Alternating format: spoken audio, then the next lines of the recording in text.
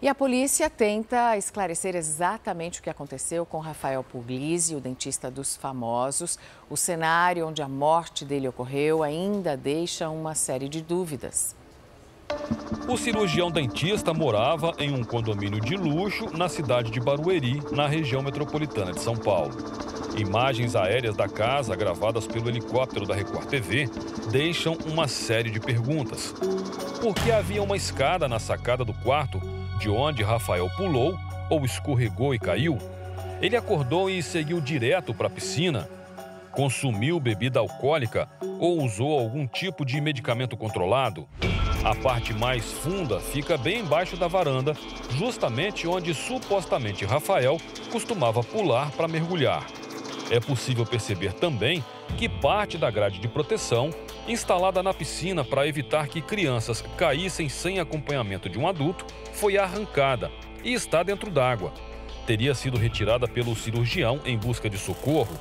Há uma mancha de sangue no piso, ao lado da piscina, do momento em que retiraram ele de dentro d'água. Mas também tem sangue no andar de cima. E a polícia quer saber o que aconteceu. É possível que ele tenha se machucado antes? O boletim de ocorrência de Rafael Puglisi está registrado como morte suspeita.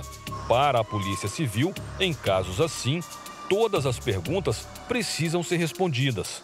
O documento informa também que o cirurgião foi encontrado pela mãe e pelo motorista da família que acionou a polícia. Quando os policiais chegaram, ele estava com o braço e parte da perna esquerda dentro da piscina e sem batimento cardíaco. O dentista chegou a ser atendido por uma médica da família que tentou reanimá-lo, mas sem sucesso. Uma equipe do Corpo de Bombeiros também esteve na casa, mas nada pôde fazer porque Rafael já havia morrido. Ainda segundo o boletim de ocorrência, um telefone celular do dentista dos famosos foi apreendido e vai passar por perícia.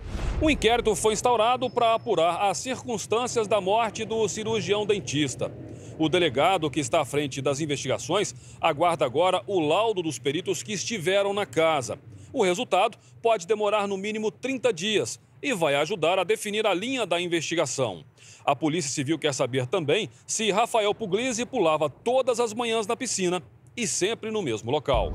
Por enquanto, a polícia não vai gravar entrevista, mas parentes e amigos devem ser convocados nos próximos dias para serem ouvidos. Entre os esclarecimentos, a polícia quer saber se Rafael morava sozinho. Outro detalhe importante é se ele fazia uso de medicamentos controlados que poderiam ter causado mal súbito quando se preparava para pular na piscina. Segundo o atestado de óbito, Rafael Puglisi morreu de traumatismo craniano causado pela queda. Segundo esse médico ortopedista, especialista em traumas, o ferimento quase sempre é fatal e pode ter consequência também na coluna. Em caso de acidente, o ideal é não mexer com a vítima. Retira o paciente do local, da água, o mais breve possível e deixe ele imóvel e procure uma ajuda. Chame ajuda especializada para que ele seja removido para um centro de especialidade o mais rápido possível. Rafael Puglisi tinha mais de 4 milhões de seguidores nas redes sociais. Aos 35 anos de idade, era conhecido como o dentista dos famosos. Entre os pacientes estava o jogador de futebol Neymar. O corpo de Rafael foi enterrado nessa terça-feira em um cemitério de São Paulo.